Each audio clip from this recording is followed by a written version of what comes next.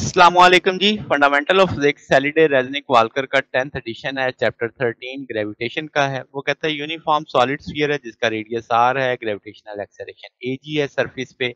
वो कहता है स्फीयर से कितनी दूर जाएँ इनसाइड या आउटसाइड जब gravitational acceleration a g by three रह जाए, यानी वन थर्ड रह जाए?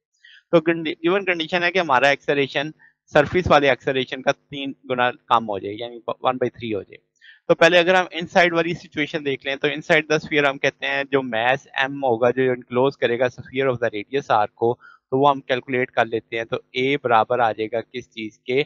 हम कहेंगे G M over R cube और ए हमें पता है इस कंडीशन पे होना चाहिए। तो ए जी बराबर आ जाएगा three G M over R square के तौर पे। तो ये हमें पता चल गया।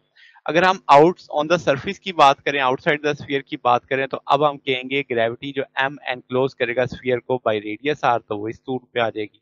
तो अब आपके पास ये टूल आ गया। इसको में भी हम कह सकते हैं कि वन और टू को अगर हम देखते हैं लेफ़्ट साइड सेम है तो राइट साइड सेम होनी चाहिए।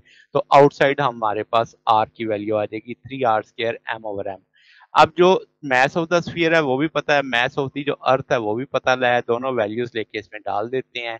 चीज़ें सिंपल आउट हो जाएँगी तो आपके पास छोटा आर बराबर आ जाएगा आर बाई थ्री के तो इसका मतलब at R by three inside the earth gravitational acceleration a g by three होगा।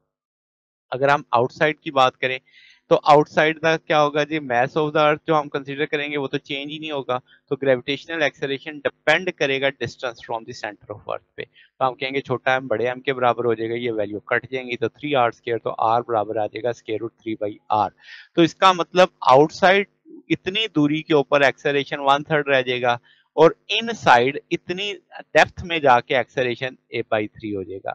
तो यहाँ पे एक तरह से डायरेक्टली प्रोपोर्शनल डिस्टेंस के लिहाज से लग रहा है, यहाँ पे स्केयर के लिहाज से आ रहा है। तो ये जनाब हमारे पास सोल्यूशन है। अगर आपको इसमें कोई बात पूछनी हो डाउट हो तो नीचे कमेंट्स में पूछ सकते हैं। वीडियो अच्छी लगी हो, वीडियो को लाइक कीजिएगा, दोस्तों के साथ शेयर कीजिएगा चैनल को सब्सक्राइब कर दीजिएगा। अब तक के लिए इतना ही। बाकी इंशाल्लाह नेक्स्ट देखेंगे। ओके अल्लाह हाफिज।